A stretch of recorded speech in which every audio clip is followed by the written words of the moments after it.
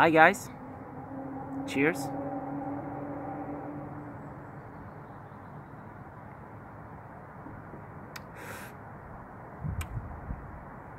Won't be talking about this beer today.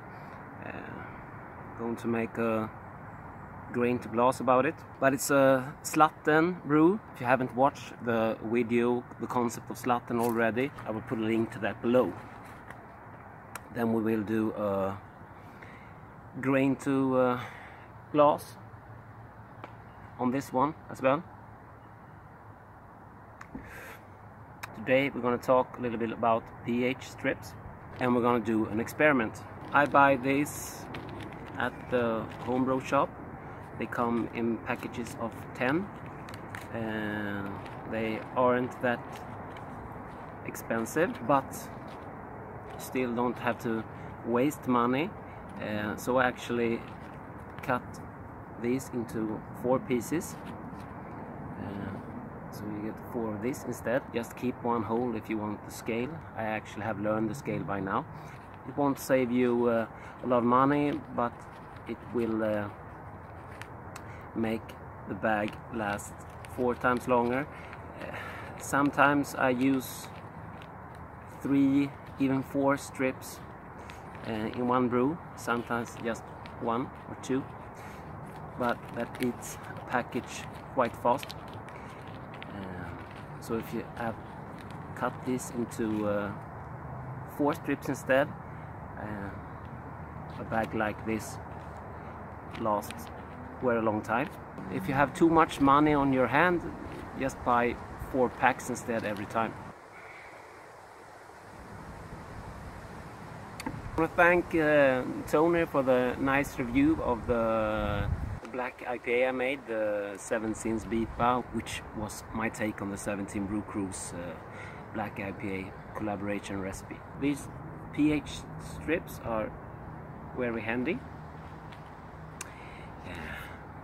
But the question is, do you have to cool your wort or your water down to uh, 20C before using pH strips. To uh, clear that out, we're gonna test that on an actual brew day.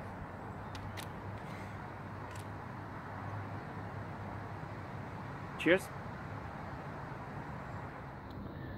To give this matter rest, let's pull out sample of the mash. This is the hot mash just to uh, rule anything out we're gonna use the same pH strip.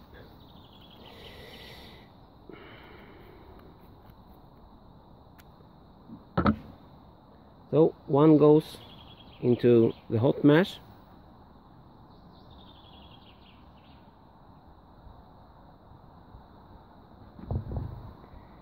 we're just a bit under we're just a bit under 5.2 uh, I'm gonna cool that down to 20C and uh, take another reading with the second half.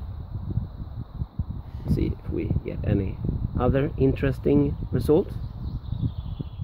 The mash is cooled down uh, to about 17 degrees.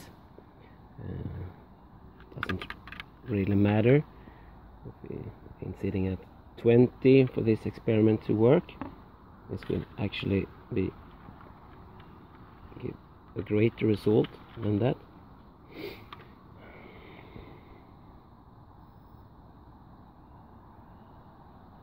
Yeah so we're at 17 degrees. Uh, and this is the one we used the hot mash and this I made a little X there. This is for the cold mash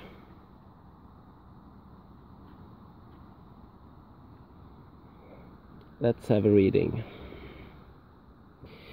Yeah. So we can see we're just under 5.2 and if we put them side by side they're identical. You can let this dry up as well if you want to but I think that proves my point. Or say you not. So we're uh, back after both sides of the strip has been uh, dried. And as you see they are still identical.